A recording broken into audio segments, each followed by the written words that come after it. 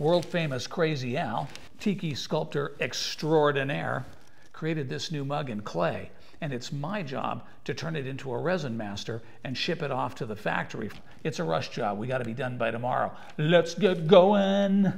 I found this giant tube in amongst our collection of useful objects in the studio, and it just happens to be exactly the right size I need for a mold case for this piece. I need a one foot piece of it, 12 inches. So let's just mark it off around the rim.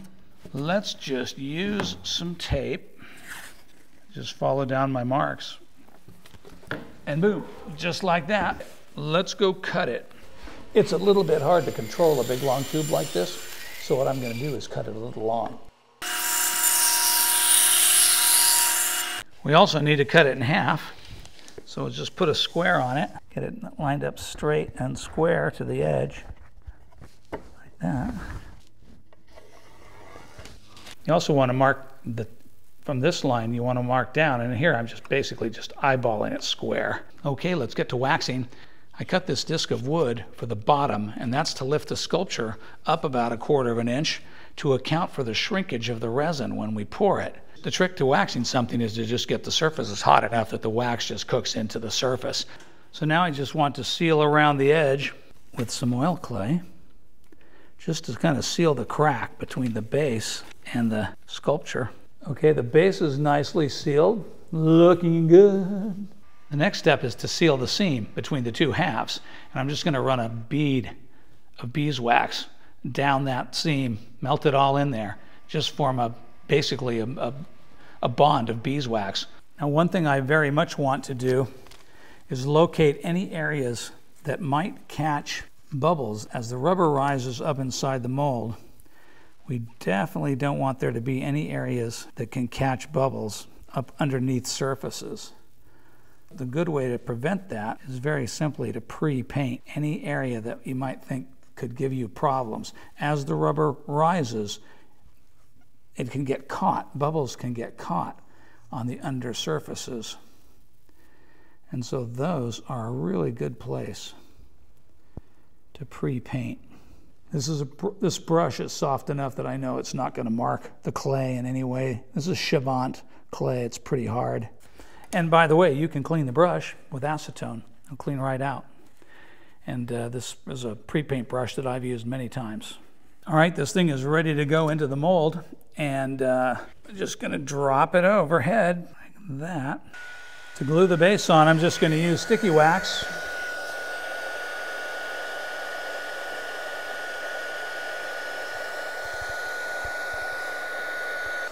All right, that looks like I've got a good seal all the way around the base, and that is going to be on there. That is going nowhere. Quite a bit of weight of rubber down here at the bottom of this column, and I want to make sure that it's not going to pop, not going to break. Not going to go anywhere. I think that's looking good. What I've done is I just took some very lightweight cardboard and I built myself a pouring funnel. And this thing is going to allow me to dump pour this very fast. So now we just need to seal it on there with more wax. Once that cools, that's really going to bond that on there. I finished off the funnel with clay, made a nice tight joint, and now you'll see the rubber can just flow right in just fast and easy. This mold is going to weigh about five pounds, so it's quite a big chunk of rubber, and it's got to be poured quickly and efficiently. You don't want to drape the model with rubber, or you will catch bubbles. There's not a lot of room between the walls of the mold and the piece itself, so I need to direct the rubber down this narrow channel, and that's where this funnel just works its magic. It allows the rubber to flow down the back wall of the mold and drop all the way to the bottom. Then it fills the mold from the bottom up, which is what we always want it to do. Yank the funnel and trim it off. Thank you, funnel. You did your job. Look how easy this mold case comes apart, and that's the genius of waxes in action. They are 100% friendly to the rubber, and they also come apart super easy. All right, time to cut the mold. Starting out is definitely the hardest part. The trick to cutting molds is to stretch the rubber as much as you can. Try to cut clean and straight at the part, but jagged away from the part so that the mold halves will lock together. Okay, here's how the piece came out of the mold. As you can see, it sustained a little bit of damage up on top.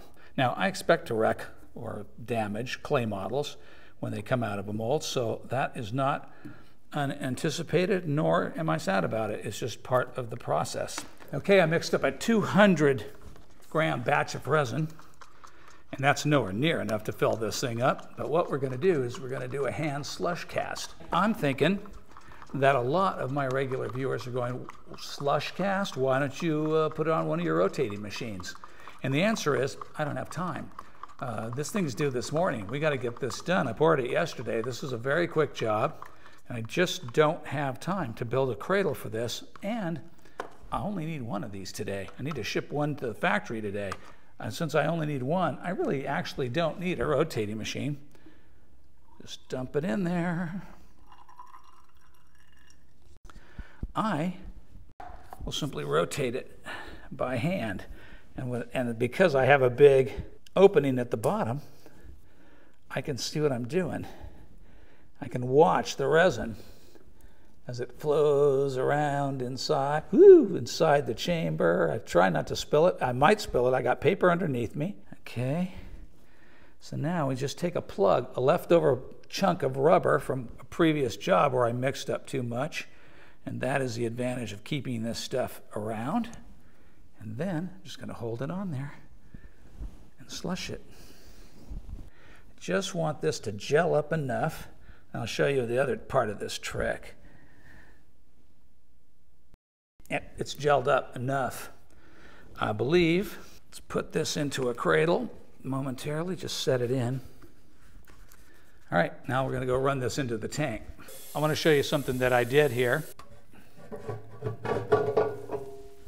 I simply laid the mold down inside the tank. I didn't need to deal with the vertical tank because this was rotocast in effect.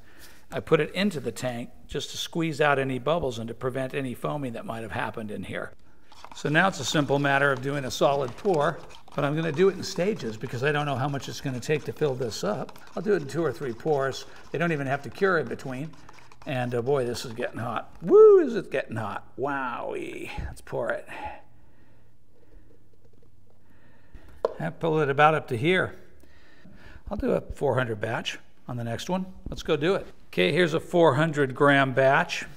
This is going to be close. This is going to be close. See if I calculated it right. I eyeballed it. I'm always eyeballing. see how I do. Eyeball it. It's getting hot. It's getting hot. That's what I like to see. That chemical reaction's going off and all those bonds are forming like mad, all that cross linking, less setting off heat. Okay, I'm about an inch short. All right, no biggie. Let's go mix up more. All right, away we go. This is the final batch. let's pour it. I don't want to create a complete quarter inch thick pad on the bottom. It's too much to sand off. I think this will be just fine. It's been about 20 minutes. Let's see what we got. Okay, I'm going to let you guys see it before I see it. I always want to cut as little as possible, so it's putting up a little fight. We'll get it. Don't worry, we'll get it. All right, there you go. All right, got it. Nice. Let's take a look and see. And one little bubble right here under the nose, but that will scrape off okay. Bubble on the underside here. And where you see these bumps, uh, there are bubbles here that are inside the rubber, but they're not trapped against the edge of the part. It's just a simple matter just to shave those off. Otherwise, pretty clean, not seeing too much to complain about. You can see a little bit of flash there on the back, and now I'm just going around trimming the flash around the base, but that's not really necessary because I'm going to sand the base flat on the belt sander anyway. I have to say it, I'm pretty pleased with the way this copy came out. It's all looking good with minor cleanups, and uh, it's ready to send off to the factory. Hey, if you like this video, watch this video next. I hope you got something out of this video. I hope you learned something from it, and I will see you in the next video. No time to waste. They started production immediately at the ceramics factory. Oh my God, look at that clay up mold. Oh, just shoot me, shoot me.